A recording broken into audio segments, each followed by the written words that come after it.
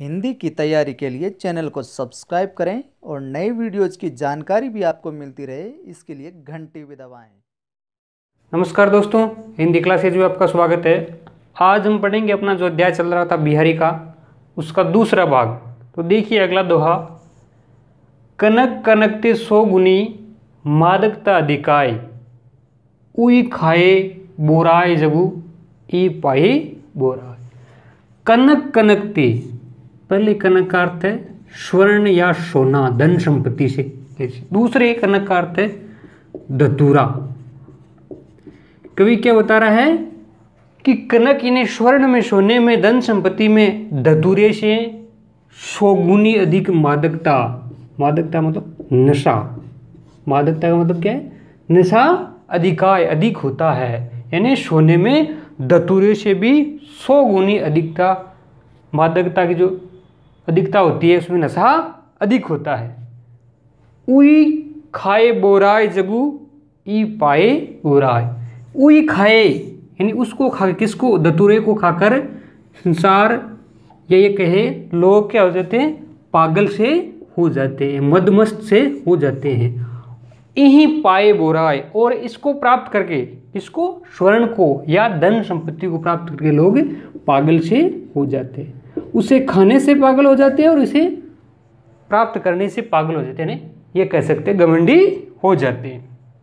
अगला देखिए, नहीं प्रागु, नहीं मधुर मधु, नहीं विकास ही काल अली कली ही सुबिंदो आगे कौन हवाल। इस दोए में बिहारी जय सिंह को बता रहे हैं, एक बार बिहारी जय सिंह के दरबार में गए। तो राजा जय सिंह जयपुर के राजा जय सिंह वो अपनी नवोडा अल्प पेश कराने के प्रेम में, या मोह में इस तरह ग्रस्त थे। तो दोहे के माध्यम से उनको समझाने की कोशिश की थी कि नहीं प्राग, नहीं मधुर मधु, नहीं विकास एक काल कि नहीं तो अभी प्राग है इसमें, नहीं मधुर मधु, नहीं इसमें कोई मधुर रस है, नहीं विकास ही काल और नहीं इसका अभी पूरी तरह से विकास हो चुका अली कली शू बिंदो आगे कौन हवाल? अली का मतलब होता है भरमर या बौरा और कली, जो फूल निकलने से पीछे कली होती है ना, उसके बारे में बताया कि ये जो भंवरा है, अभी से इस कली से इस प्रकार बंध गया है। न तो इसमें पराग है, न मधुर रस है, और न ये पूरी तरह से विकसित हुई है। तो अभी से ये बौरा है, इस कली से इस प्रकार बंध गया है। आगे कौन हवाल? हवाल मतलब दशा। तो आगे क्या दशा होगी? यानी यहाँ अली राजा जय सिंह के लिए और कली नवोडा जो रानी उसके लिए आया है। यानी राजा जय सिंह, उस अल्प वयस्क रानी के प्रति अभी से इतने मोहग्रस्त हो चुके हैं। आगे उनकी क्या दशा होगी? नीच हिये हुलसे रहे गहे गेंद के पोत। जू जू माथे मारियत त्यों त्यों ऊँचे होत? नीच व्यक्ति और गेंद की का जो स्वभाव है, वो बिहारी ने एक जैसा बताया। गेंद जो खेलने की होती है ना, उसका स्वभाव और नीच व्यक्ति का स्वभाव एक जैसा बताया। नीच हिये हिये का मतलब हृदय से, हुलसे का मतलब होता प्रसन्न होना। जो जो माते मारियत त्यों त्यों ऊँचे होत? आप गेंद को जो ही मारेंगे या ऊपर से गिराएँगे, जितना ऊपर से गिराएँगे वो त्यों वापस ज़्यादा उछाल लेगी। और नीच व्यक्तियों को गिराने से या माथे मारने से मतलब अपमानित करने से। व्यक्ति के संबंध में माथे मारने का अपमानित करना और गेंद के संबंध में उसे गिराना, पटकना या सर से मारना। यानी नीच व्यक्ति को आप जितना अपमानित करोगे, वो उतना ऊँचा होगा, उतना ही वो प्रसन्न होगा। और गेंद को आप जितना नीचे गिराओगे उछल कर वापस उतनी ऊँची आएगी। अब देखिए इसमें अलंकार देख ले कनक कनक में यमक अलंकार है। कौन सा है? यमक अलंकार। और ये जो अंतिम, जो लास्ट में चौदह नंबर दो उसमें है, दृष्टांत अलंकार। कौन सा दृष्टांत समझाने का प्रयास किया है?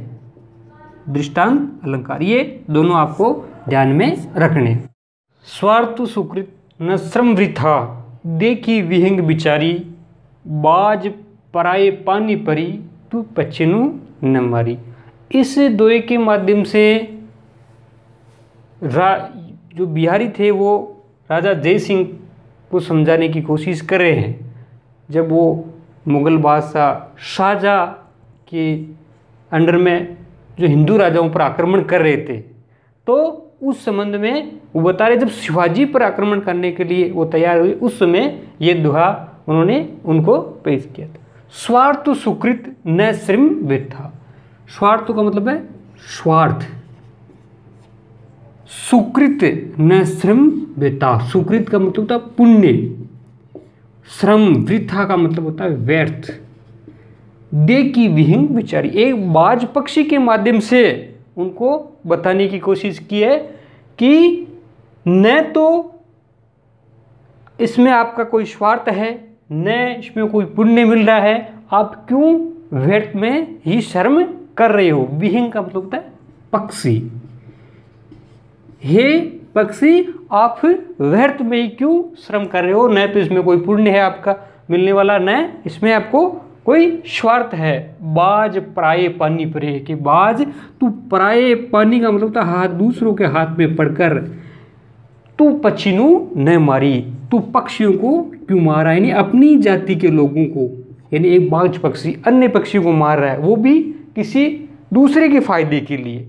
तो उन्होंने बताने की कोशिश की है कि बाज तू दूसरे के हाथों में पड़कर अपने ही पक्षी वर्ग को क्यों मारा। अर्थात राजा जय सिंह को ये समझाने की कोशिश कर रहे हैं कि आप शाहजहाँ के अधीन होकर जो हिंदू राजाओं पर आक्रमण कर रहे हैं, उनको मार रहे हैं, आप ऐसा क्यों कर रहे हैं? इसमें आपको न तो कोई पुण्य मिलने वाला है, न इसमें आपको कोई स्वार्थ छिपा है। जो भी कुछ मिलेगा, वो शाहजहाँ के पास जाएगा।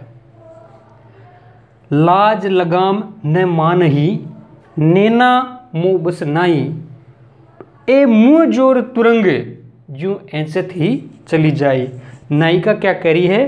लाज लगाम न माँ नहीं, नैना मुँह बस नहीं। यानी मेरी जो नेत्र है, मेरी आँखों पर मेरा बस नहीं है। ये लाज रूपी जो लगाम है, उसको नहीं मान रहे। मेरे जो नेत्र है, वो लाज रूपी लगाम को नहीं मान रहे, इनके ऊपर मेरा बस नहीं है। ए, मुँह ज़ोर तुरंग। तुरंग का मतलब होता है घोड़ा। मुँह ज़ोर तुरंग का मतलब ऐसा घोड़ा जो अपनी लगाम को ज़बरदस्ती मुँह में दबा के अपनी इच्छा के अनुसार जिस तरफ़ जाना हो, ज़बरदस्ती चला जाता है। ऐचत ही चली जात यानी ऐचत का मतलब ज़बरदस्ती ही चला जाता है। नायिका क्या बता रही है कि नेत्र है, वो लाज रूपी लगाम को नहीं मान रहे। वो तो एक मुँहजोर घोड़े की भांति ज़बरदस्ती अपनी इच्छा के अनुसार चले जा रही है। इसमें है ना मुँह ज़ोर तुरंग जू उपमा अलंकार है। कौन सा अलंकार है? उपमा, अलंकार। अगला देखिए। जोग जुगति शी किए सबे मनो महामुनि मेन। चाहत पिए अद्वितता कानन सेवत नेन। एक सकी दूसरी सकी से क्या कह रही है? दूसरी सकी नेत्रों के बारे में कि जोग जुक्ति सीखिए शबे महामुनि मेन। ऐसा लगता है कि आपके नेत्रों ने तो योग की युक्तियाँ सीख ली है। महामुनि मेन मेन का मतलब होता है कामदेव से कामदेव से की युक्तियाँ सीख लिए। चाहत पिए अद्वैतता। अब वो पिए से अद्वैतता। अद्वैतता मतलब मिलन। एक रूप हो जाना। वो अपने पिय से एक रूपता चाह रही है। कानन सेवत नैन और आपके जो ये कानों को सेने वाली, यानी कानों तक तो लंबी जो नेत्र है आपके, वो अब पिए से अद्वैतता चाह रहे, मिलन चाह रहे। एक दूसरा अर्थ ये भी इसका होता है कि योग युक्ति सीखने के लिए कानन के दो अर्थ निकले एक तो कान और एक कानन का अर्थ निकल रहा है वन या जंगल।